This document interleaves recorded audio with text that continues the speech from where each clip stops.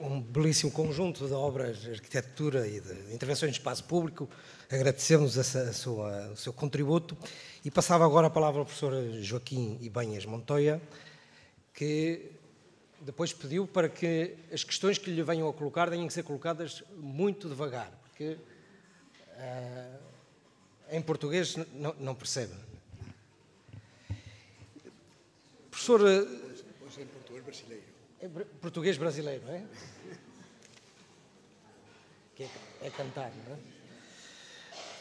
O professor Ibanhas Montoya é professor uh, do Departamento de Projetos Arquitetónicos da Universidade Politécnica de Madrid, é coordenador da área de especialidade da área da conservação e de intervenção na área do património, é, é responsável por um grupo de investigação sobre a paisagem cultural e intervenção no território e na cidade contemporânea e é autor de diversos projetos de intervenção sobre o património cultural e várias publicações de referência, em particular na área da relação na, na, área da colaboração ibero-americana no urbanismo e na, na intervenção no espaço público.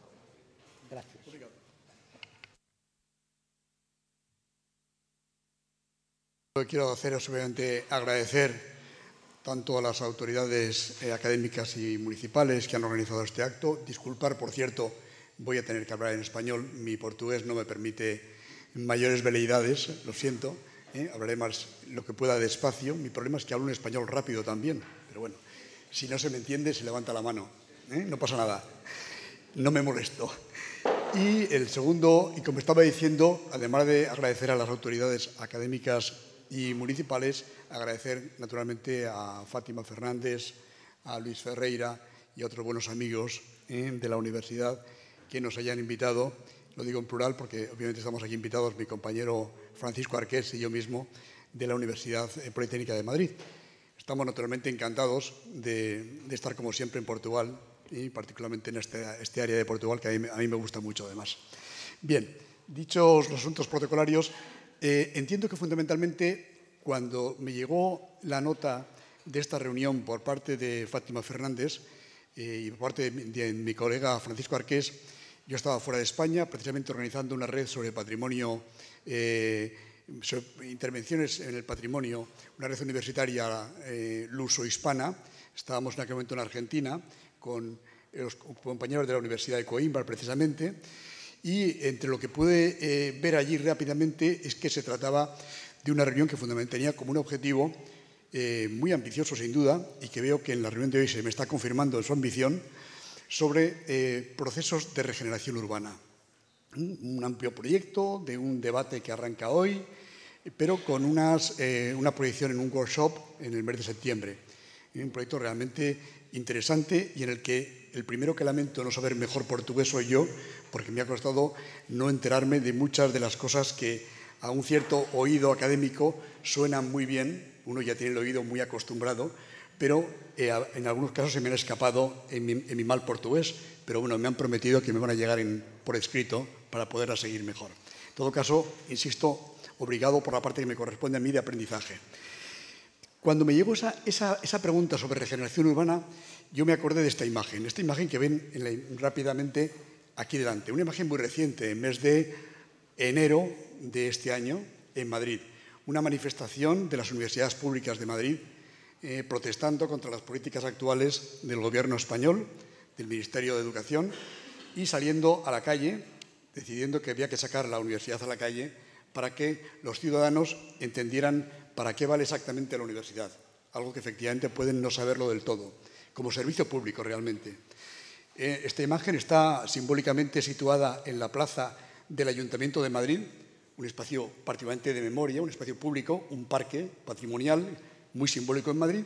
El Ayuntamiento antiguo está aquí a la espalda y ahí, además de verme a mí, pues pueden ver a algunos profesores, a lo mejor ustedes conocen a alguno de ellos, pero bueno, no les voy ahora a, molestar, a aburrir con, los, con las personas. En todo caso, una reunión interesante entre ciudadanos, alguno de ellos preguntaba de cuándo hacíamos la revolución, recuerdo, y arquitectos, gente que pasaba por allí, una norteamericana que preguntaba qué hacíamos exactamente allí, no entendía nada, ¿eh?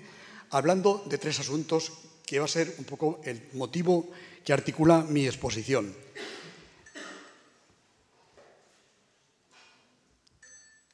Suena el timbre, pero esto no. A ver, algo nuevo. Ah, es con esta de aquí, perdón. De acuerdo, perfecto. Que tiene que ver con espacio, ciudad, tiempo, tradición, memoria y un tercer interlocutor, casi un invitado que establece una especie de labor de Pigmalión entre ambos, que es la universidad como espacio de interpretación, como actor, que realmente ayuda a entender este diálogo en el siglo XXI, en el momento contemporáneo, en el contexto en que nos encontramos ahora mismo. Lo establezco, lógicamente, a través de estos criterios muy universitarios, de plantear esta hipótesis, establecer luego algunos criterios de verificación e incluso atreverme a algunas conclusiones, casi en términos de un pequeño, iba a decir, manifiesto de Águeda o primeras algunas propuestas. Bueno, un primer homenaje que tiene que ver con casi la ciudad, eh, el, lugar del diálogo para autonomasia eh, para los arquitectos a principios del siglo XX, año 54, recordar, ¿no? Giancarlo de Carlo en Italia, Urbino, Carlo Bo, rector de la universidad, un rector histórico a nivel europeo, y un primer diálogo entre paisaje, entre ciudad, entre patrimonio y entre universidad. Todos unidos en un histórico proyecto muy interesante, magnífico y yo diría que realmente de vanguardia. Sobre esta propuesta, como les digo, sobre esa primera imagen, les voy a plantear estos tres eh, personajes. Ciudad, lo hago al revés, función y tradición. Ciudad, universidad y memoria. Sobre la primera, los tres voy a manejar tres, eh, tesis que además vienen derivadas de de tres publicaciones. La primera sobre la ciudad, que tiene que ver con globalidad y decadencia en el mundo occidental contemporáneo, algo de lo que estamos hablando hoy aquí, y que tiene que ver con algunas imágenes obviamente extremas ¿eh? de estos modelos norteamericanos de globalización absolutamente cancerígenos y terroríficos. ¿no? no es nuestro caso, pero que sí que tiene que ver, sí que tiene que ver con algunas estructuras de la construcción de la ciudad contemporánea, no tan visibles, pero absolutamente sustanciales, tan importantes como las murallas de las ciudades preindustriales, como son las infraestructuras realmente de instalaciones sobre las que se permitió construir la ciudad contemporánea que ahora habitamos. Tradición, memoria, como decía, la memoria, que es también es tradición, es traducción, y hasta extradición si queremos también, con todas las palabras, en portugués se entienden igual que en castellano supongo, y cuya tesis para mí tiene que ver aquí, en este caso, con una labor de debate entre materia y forma. Mientras que en, el concepto anterior de ciudad les propondría un texto, que es el, libro de Edward Glasner, El triunfo de las ciudades, no sé si lo conocen, escrito por un economista urbano, un texto interesante que, por cierto, establece una tesis fundamental la cultura es un argumento de defensa de la ciudad occidental, prácticamente nuestro único elemento, de la ciudad norteamericana y en la ciudad europea. Pero afirma algo más, más sutil. La cultura posiblemente no nos vale siempre. No podemos pensar que a través de la cultura vamos a poder defender nuestra ciudad. Eso ha valido para, Bilbao, para algunos ejemplos estupendos, envidiables, pero no vale siempre. Y Glasner nos argumenta un asunto que sí que me gustaría dejarlo aquí como una verdadera tesis. Para él, el único argumento antientrópico de esta decadencia de la ciudad contemporánea occidental está basado en la formación, en la educación. Servicios de educación. Justo casi, yo me atrevería a decir, tengo, me alegro de tener aquí una vicerrectora además de universidad pública, justo lo contrario de lo que está haciendo ahora toda la política europea. Pero la tesis ahora, hablando de memoria, está basada en otro libro, un libro de nuestro compañero en el grupo de investigación, Eduardo, perdón, Juan Miguel Hernández de León, un libro reciente, que trata sobre la autenticidad. Otro asunto. Entropía lo primero, autenticidad lo segundo. Autenticidad basada, en un diálogo que tiene mucho que ver con lo que está planteando hoy aquí, bajo mi punto de vista. Con forma o materia. Y me explico un poco, un poco mejor. Si de lo que se trata aquí con Águeda es de construir, de hacer una construcción de una identidad, en el sentido de regenerar una ciudad, hay que saber efectivamente en qué la sustentamos. ¿Dónde se va su, su autenticidad? ¿En la materia del siglo XIX o en la forma del siglo XX o XXI? La tesis de Juan Miguel Hernández de León nos permite también ser optimistas. Nos plantea que, por supuesto, en la forma. no en la materia. Podemos construir la forma y, por tanto, podemos construir, evidentemente, en Águeda una, identidad adecuada al siglo XXI. Voy a pasar algunas imágenes porque tengo demasiadas imágenes que, por supuesto, los eh, responsables del seminario, tengo tengo un, texto mucho más amplio, eh, estoy dispuesto, naturalmente, a poderlo enviar si se va a hacer alguna publicación posterior. ¿eh? Estoy haciendo un resumen muy rápido de, la propuesta. ¿no? Por eso voy a pasar algunas imágenes. La tercera, nuestro pigmalión, es la universidad. La, sociedad debe acostumbrarse a usar mucho más también a la universidad y, por supuesto, a la universidad a abrirse mucho más a la sociedad. Eso también es verdad. Podemos colaborar en esas dos cosas. en ayudar a leer adecuadamente el espacio del tiempo, el espacio y el tiempo mejor, y también ayudar esa última aportación en términos de patrimonio que ha sido esa convergencia paisajística que ha establecido la Convención de Florencia de los años, del año 2000. Un verdadero regalo ¿eh? después de un siglo de, de, divergencias entre modernos y antiguos, por así decirlo, historicistas. Nuevos, nuevos patrimonios, vamos a pasar por encima. Artistificaciones de lo que es exactamente patrimonio, capacidad de innovación, imaginación, creatividad,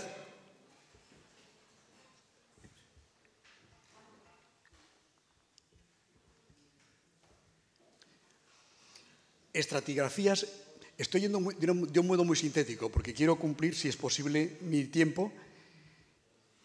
Resignificación, esta imagen clásica para todos, pero que es evidentemente fundamental porque el patrimonio moderno de lo que trata es exactamente de esto, de dar un nuevo lenguaje en la modernidad del siglo XX a objetos que todos tenemos identificados con un signo y es efectivamente algo de esto de lo que también tratamos cuando regeneramos una ciudad vamos a darle a Águeda una, nueva lectura, un nuevo signo. Y algo muy importante, y aquí me permiten como español un pequeño homenaje a mi, segunda república, ¿eh?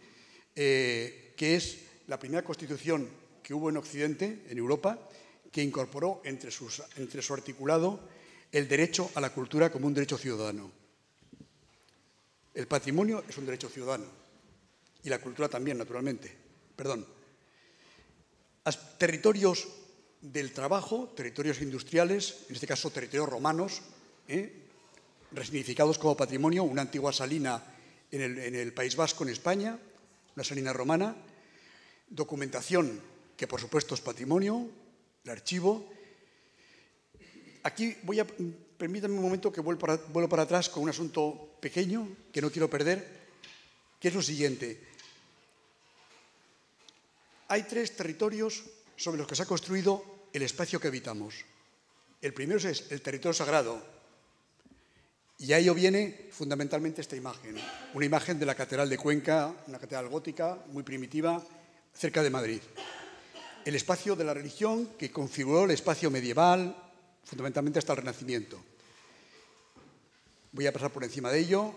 Si quieren, en todo caso, una imagen, para quien no la conozca, está declarado declarada Patrimonio de la UNESCO, es un espacio paisajístico bellísimo, pero no es el objetivo de esta, de esta conversación ahora.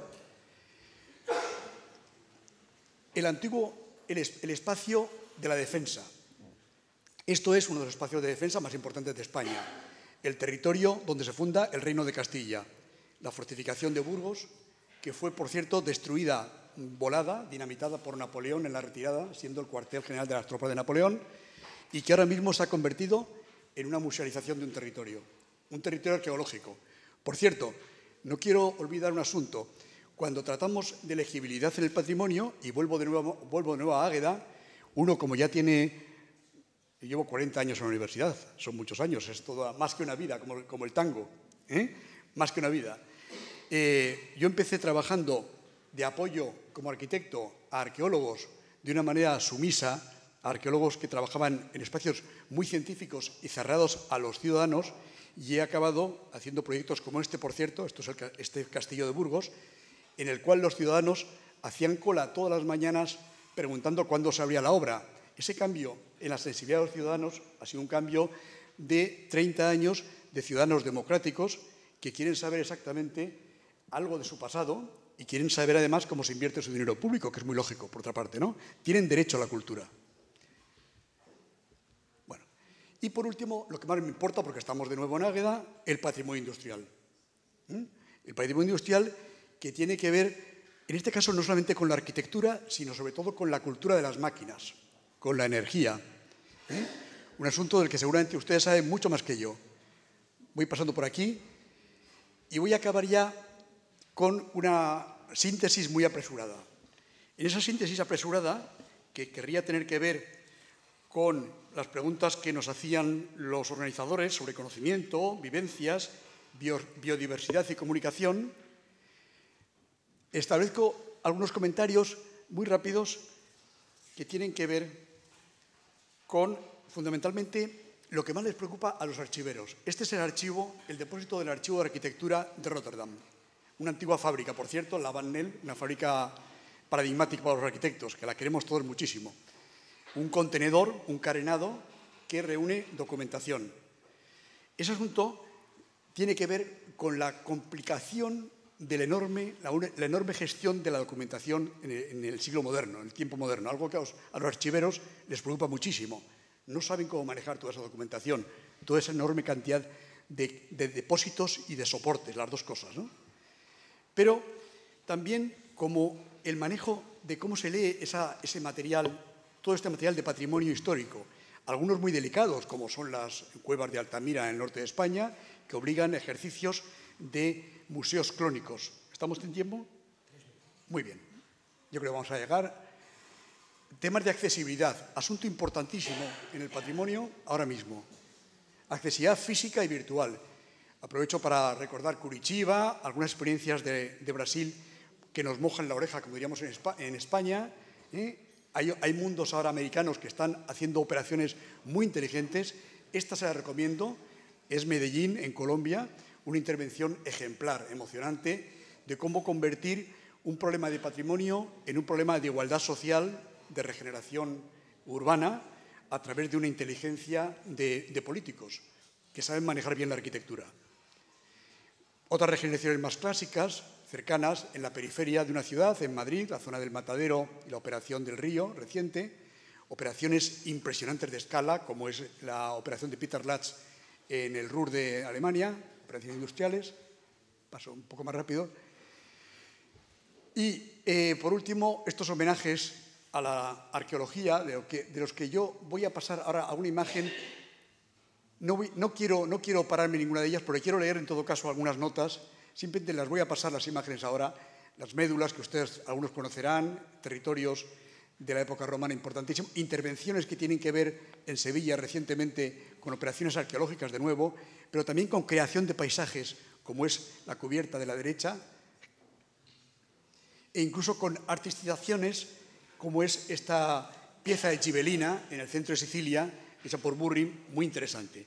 Lo que me gustaría para rematar sería algunas cosas que en el grupo nuestro de investigación, en el proyecto que estamos trabajando con Coimbra y otras universidades, nos estamos planteando. Nos parece que el patrimonio ahora mismo, en el siglo XXI, principio del siglo XXI, es realmente un activo para prevenir futuros de índole social, económica y tecnológica, para avanzar estrategias de desarrollo social y territorial y sobre todo para generar redes transversales, ¿eh? híbridas de alguna manera, entre muchas estructuras.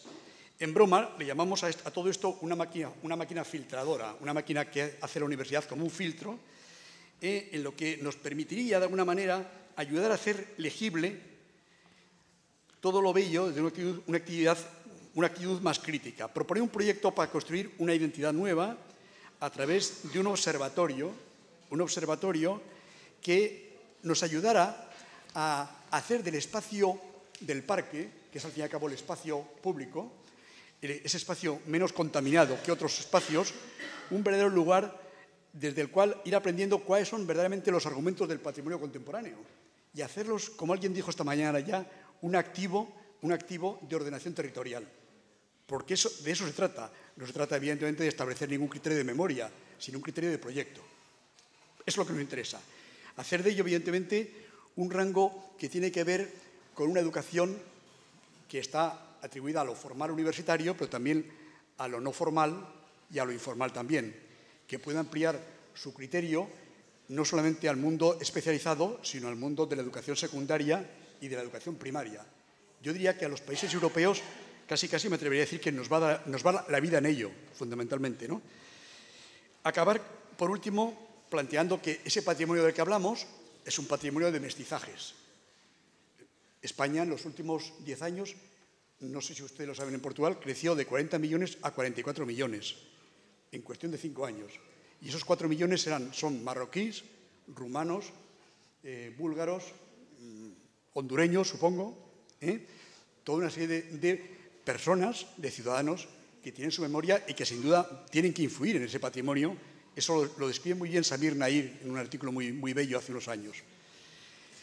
En todo caso, al final, para concluir, yo creo que, por lo menos mi intervención, la intervención desde, desde ese punto de vista universitario, me gustaría que tuviera entonces que ver, en este caso, con lo que puede aportar la universidad, que es criterios de formación, criterios de interpretación y de imaginación, y, por supuesto, la clave en el patrimonio del siglo XXI, que es gestión. Gestión. Se ha dicho, ya se ha dicho esta mañana, ¿no? En el fondo, hacer del vicio virtud en estos tiempos de crisis europea que todos conocemos, y yo hasta me atrevería a proponer haciéndolo desde una cierta cultura zen, ¿no?